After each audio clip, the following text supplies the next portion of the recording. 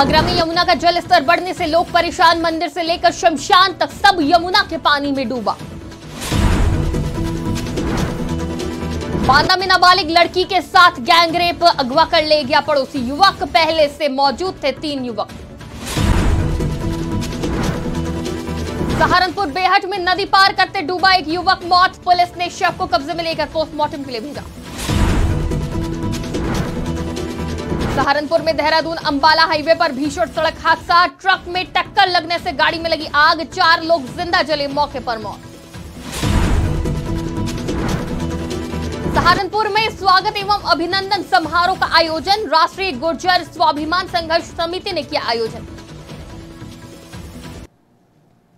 नमस्कार, आज की खबर में आपका स्वागत है। मैं हूँ आपके साथ शिखा मेहरोत्रा। रुक करते हैं उत्तर प्रदेश की खबरों की ओर। से पहले एक नज़र इस वक्त की बड़ी खबरों पर। आगरा से बड़ी खबर सामने आ रही है, जहाँ युवक की हत्या कर फेंका गया शव। बड़ी खबर आपको बता रहे हैं, जहाँ युवक का शव मिलने से क्षेत्र में फैली सनसनी, गर्दन और पेट में धारदार वस्तु से वार कर हत्या की गई। बीती शाम खाना खाने के बाद से गायब था मृतक। बड़ी खबर आपको बता रहे हैं, थाना डोंकी क्षेत्र के कुंडोल का मामला बताया जा रहा है। ये बड़ी खबर सामने आ रही है, जहाँ युवक का शव मिला है। आगरा से ये बड़ी खबर आपको बता रहे हैं, जहाँ युवक की हत्या कर फेंका गया था। शव शव मिलने से क्षेत्र में फैली सनसनी।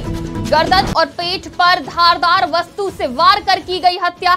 बीती शाम खाना खाने के बाद से गायब था युवक। ग्राम पंचायत में डेड बॉडी मिली है। ये मेरे गाँव के साहूकार के बेटे हैं, रोहित उर्फ़ बड्डे और ये जो घटना हुई है, बहुत ही दुखद घटना है। कुछ लोग इसके जो साथ में रहते हैं, उनके पिताजी ने बताया है कुछ लोगों का नाम, कि जो लोग इसके साथ रहते हैं, उनमें कुछ आशंका जताई जा रही है। तो आगरा से ये खबर सामने आई है, जहाँ युवक का हत्या कर शव फेंका हुआ था। बीती शाम से ही युवक गायब था। खाना खाने के बाद से ही युवक का आता पता नहीं चल पा रहा था तो वहीं आज युवक का शव मिला है।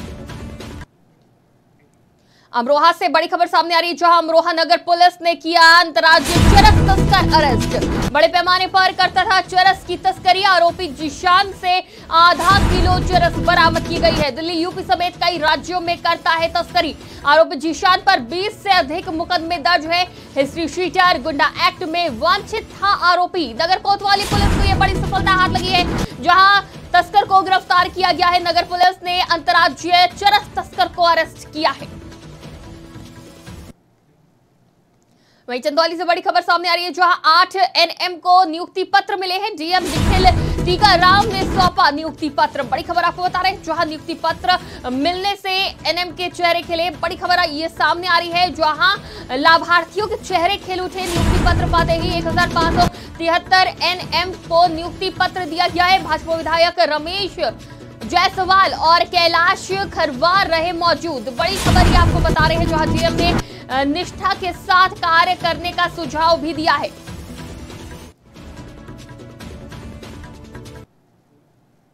मथुरा से बड़ी खबर सामने आ रही, जहाँ तत्कालीन और वर्तमान एसीएमओ पर एक्शन लिया गया है। एससी एक्ट के तहत मुकदमा दर्ज करने के आदेश दिए गए हैं। प्रेमदीप हॉस्पिटल की जाँच में दोषियों को बचाने पर एक्शन लिया गया है।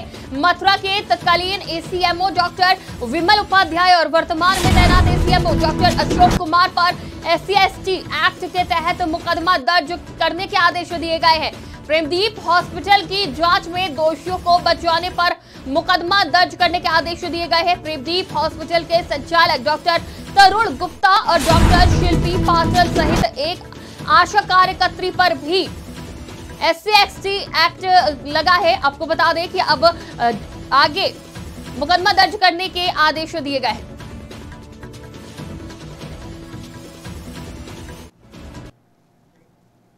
करते खबरों की ओर। आगरा में यमुना का जल स्तर लगातार बढ़ने से जनजीवन अस्त व्यस्त हो गया है। हथनी कुंड से छोड़े गए पानी से आगरा में जल भराव हो गया है।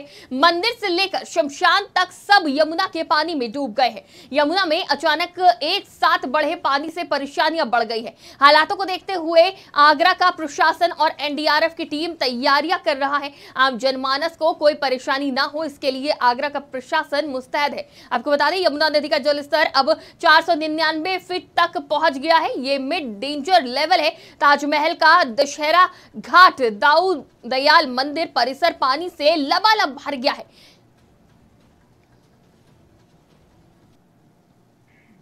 बांदा से नाबालिग लड़की के साथ गैंगरेप का मामला सामने आया है। पूरा मामला बांदा शहर कोतवाली के गाँव से सामने आया है, जहाँ नाबालिग 13 जुलाई को घर के बाहर खड़ी थी, तभी पड़ोसी युवक आया और मुँह दबाकर उसे अपने साथ ले गया, जहाँ तीन लोग पहले से मौजूद थे, जहाँ चारों ने बारी बारी दुष्कर्म की घटना को अंजाम दिया। नाबालिग की शिकायत पर पुलिस ने संगीन धाराओं में एफआईआर दर्ज कर आरोपियों की तलाश शुरू कर दी है।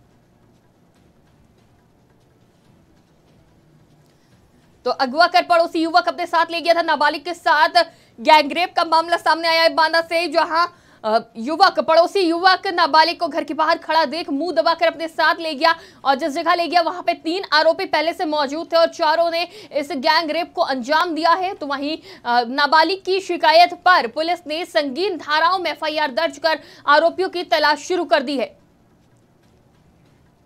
तो बांदा से ये मामला सामने आया है। नाबालिग लड़की के साथ गैंगरेप का मामला सामने आया है, जहाँ इसकी खबर नाबालिग ने अपने परिजनों को दी। उसके बाद परिजनों के साथ ये मामला लेकर सभी थाने पहुँचे और वहाँ पे नाबालिग पीड़िता ने अपनी आप बीती सुनाई और एफआईआर दर्ज की गई।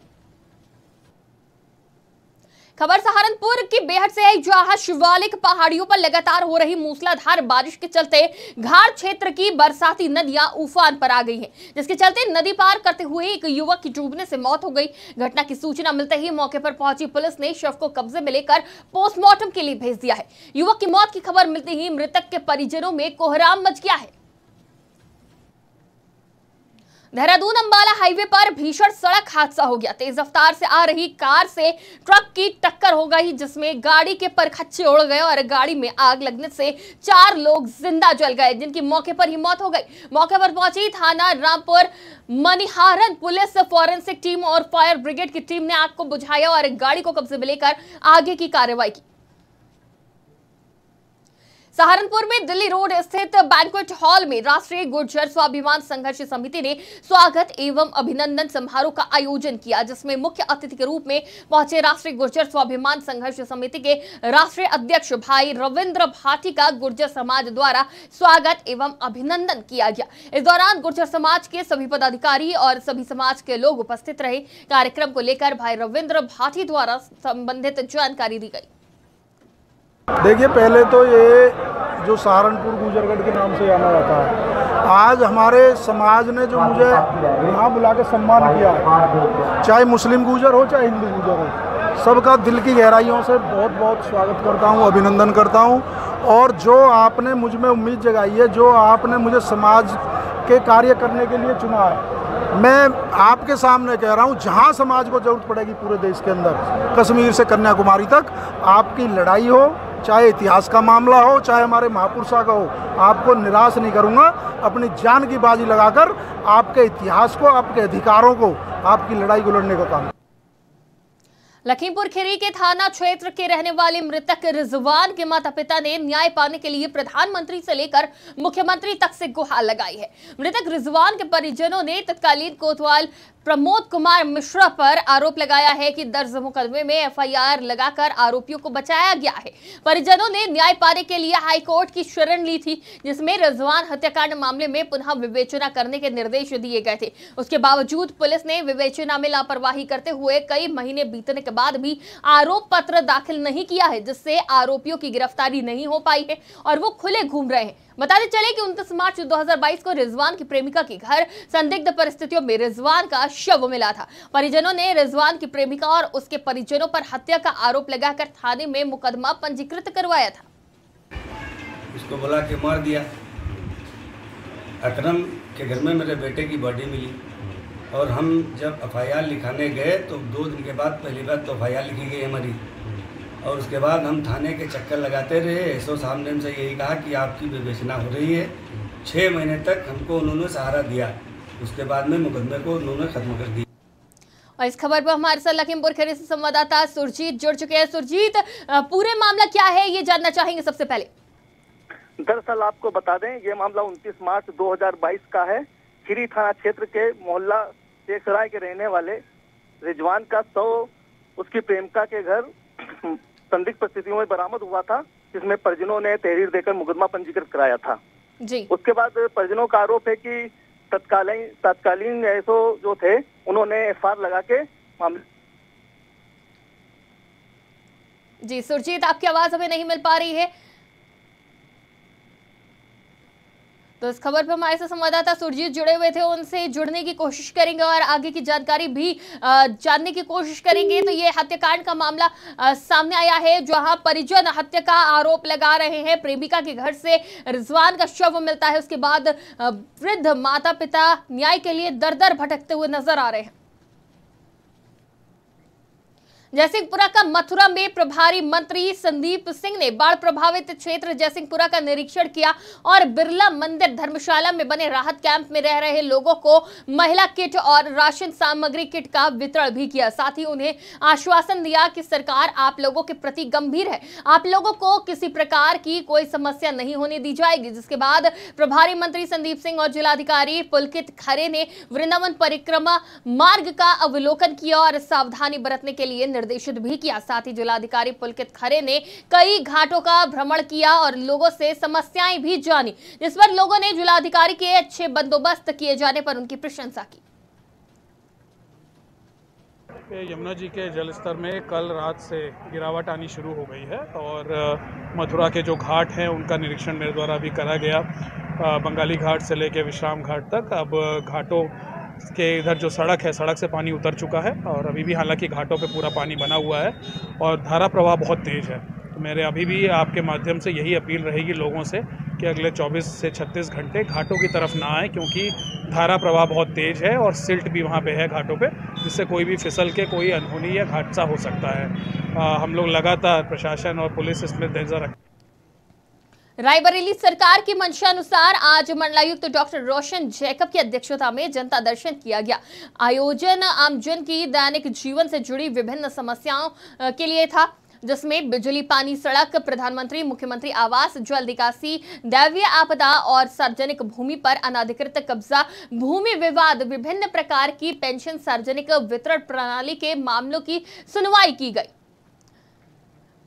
और इस खबर पे हमारे साथ रायबरेली से संवाददाता रवि श्रीवास्तव जुड़ चुके हैं। रवि जिस तरह से आज जनता दरबार लगाया गया जनता की समस्याओं को सुना गया तो क्या कुछ देखने को मिला इस दौरान? मैम असल में ये मंडलायुक्त जो रोशन जैकब मैम है आज आई थी और बहुत सारे जनता दरबार में जनता दर्शन में लोगों मामले निपटाए जी। शिकायत जी, रवि, हमें आपकी आवाज़ नहीं मिल पा रही है, आपका संपर्क नहीं हो पा रहा है तो इस खबर पर हमारे साथ रायबरेली से संवाददाता रवि शंकर जुड़े हुए थे तो जिस तरह से आज रायबरेली रायबरेली सरकार की मंशानुसार आज मंडलायुक्त डॉक्टर रोशन जैकब की अध्यक्षता में जनता दरबार लगाया गया, जिसमें सरकार की सरकार के द्वारा जो भी सुविधाएँ दी जा रही हैं, उनको लेकर जनता से जानकारी ली गई, उनसे जाना गया उनकी समस्याओं के बारे में। उन्नाव के माखी थाना क्षेत्र मजखोरिया के मजरा ठो में नव विवाहिता का शव घर में कमरे के पंखे से लटका हुआ मिला। खेत से घर पहुँचे परिजनों ने शव लटका देखा तो घर में मातम पसर गया। मामला सदर कोतवाली क्षेत्र के देवी खेड़ा गाँव का है। वहीं मायके पक्ष के लोगों ने हत्या कर शव को लटकाने का आरोप लगाया है। मायके पक्ष के लोगों की ओर से तहरीर के आधार पर पुलिस ने मुकदमा दर्ज कर जाँच पड़ताल शुरू कर दी है। उत्तर प्रदेश की खबरों में फ़िलहाल इतना ही। देश और दुनिया की तमाम खबरों के लिए देखते रहिए आज की खबर।